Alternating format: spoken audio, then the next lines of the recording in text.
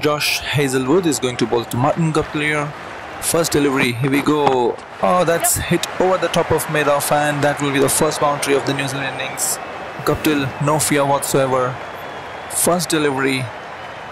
What a shot. What a player. Hazlewood does look happy. Have a look at the replay here.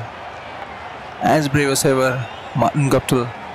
What's gonna be Hazlewood's reply here?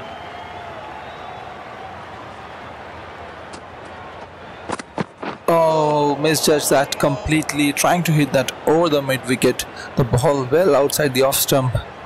This is shaping up to be an exciting contest. Hazlewood to Martin Guptill, ball number three.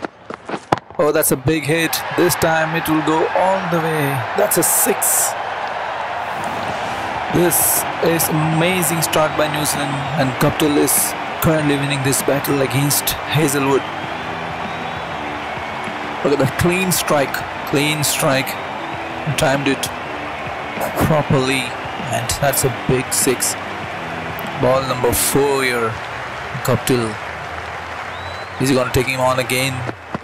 Oh, that's a similar shot, but we'll get a boundary here. This is turning out to be a huge over. Already 14 runs of it. Guptill looks like he's not gonna stop here couple of more balls left. Here we go.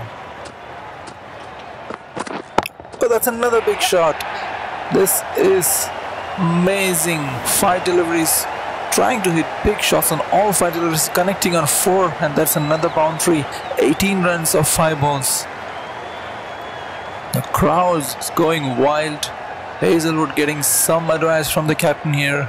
He looks completely lost out here Test match length bowling is not working.